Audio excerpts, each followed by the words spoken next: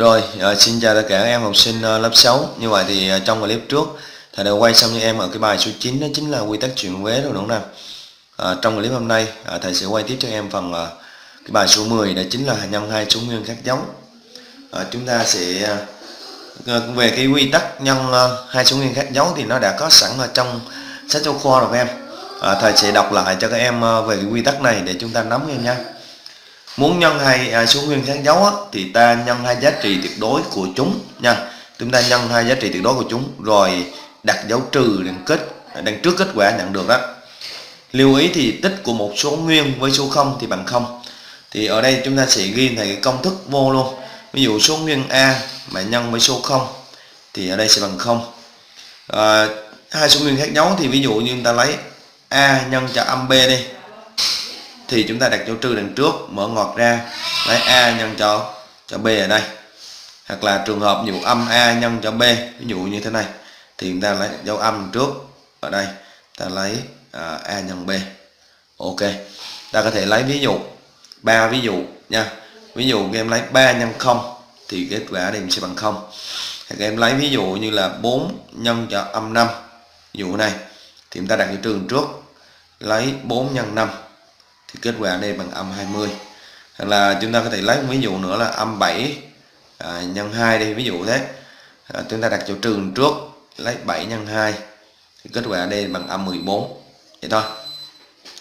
Nó đơn giản như vậy. Cứ hiểu vậy là ok thôi.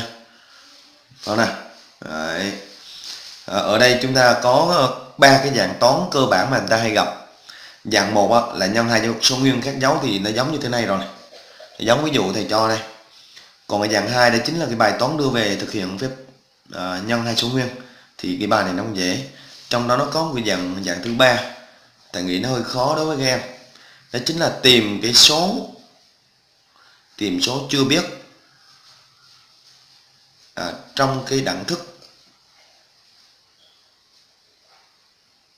Trong đẳng thức cái dạng Ờ, cái này lên chương trình lớp 8 người ta gọi là đây chính là phương trình tích các em là a nhân b sẽ bằng 0 cái này ờ, thầy nói hơi sớm tại vì chúng ta đang học mới chương trình lớp 6 à.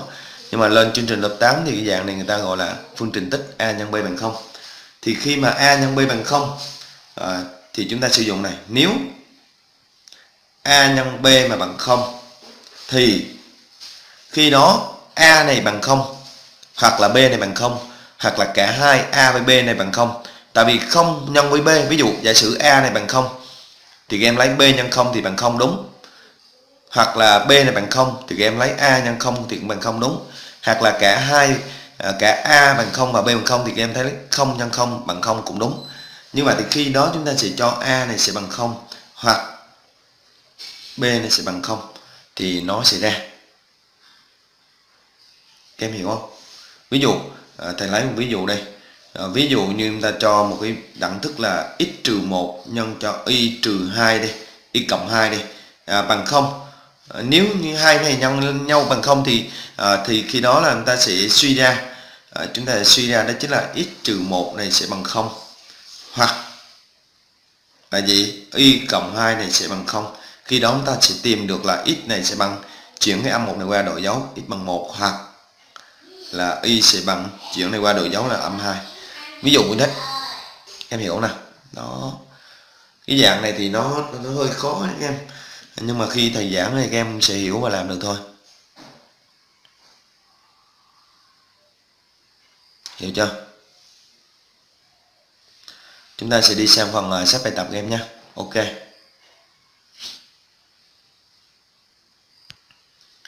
Rồi chúng ta sẽ đi sang à, phần bài tập bổ sung. Đó chính là bài 10.1 em nhé. Người ta yêu cầu các em là tính giá trị của cái biểu thức à, với x bằng âm 7 và y bằng âm 5 Ở đây câu A này à, 4 Người ta ghi như này nghĩa là 4 nhân x em. 4 nhân x này Trừ 3 nhân y. 3y nghĩa là 3 nhân y. Bây giờ chỗ nào có x các em thế bởi âm 7 vô? À, Như vậy thì à, chúng ta sẽ thế luôn cho luôn nha. Được không nào? À, âm 7 trừ 3 nhân y y người ta là âm 5 đây.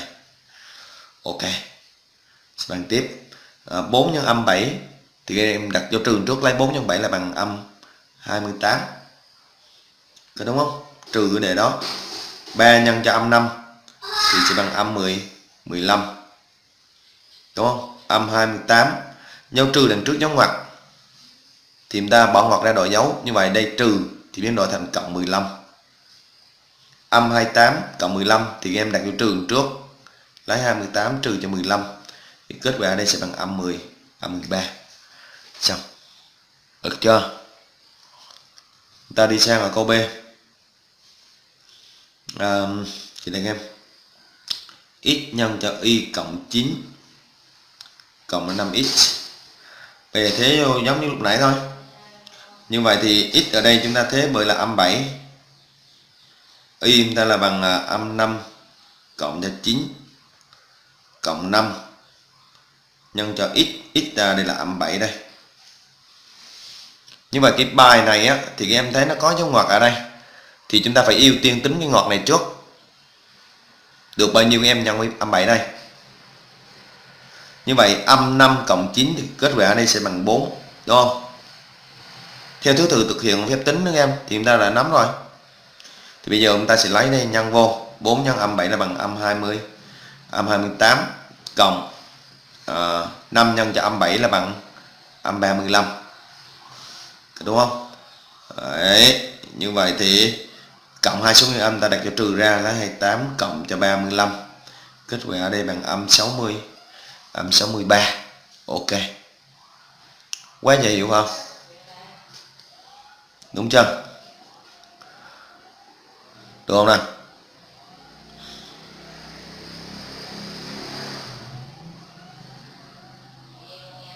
Rồi. À, trong clip sau á, thì thầy sẽ làm cho em ở bài 10.2 với 10.3 à, chúng ta tính cái tổng. Nó cũng khá dễ. Vâng, à, thì à, chúng ta à, cố gắng à, làm trước. À, rồi thầy sẽ trong clip sau thầy sẽ à, phát cho các em ở cái hai cái bài này ở trong một clip nhé được nè. Như vậy thì ờ, clip hôm nay tới đây kết thúc. Ờ, chúc em học tốt. Nhớ like, comment, tích cực và chia sẻ bài giảng với thầy. Đăng ký kênh ủng hộ thầy và cô em nhé thầy thì đối lớp 6 thì dạy ờ, toán với lý, cô dạy sinh. Lên trên lớp 8 trở đi thì có toán lý hóa sinh em nhé Đấy. trong kênh thầy là rất là đầy đủ luôn. Và hoàn toàn miễn phí. Chỉ có phần sách bài tập này thì chúng ta đóng phí nhưng mà cũng khá là lấy ích em cả quyển sách này thầy quay cả đại cả hình mà chỉ có 200 nghìn. Quá là, là bèo bọt. Sau công sức của thầy bỏ ra đúng không nào? Đúng chưa? Chúc em học tốt nha. Bye.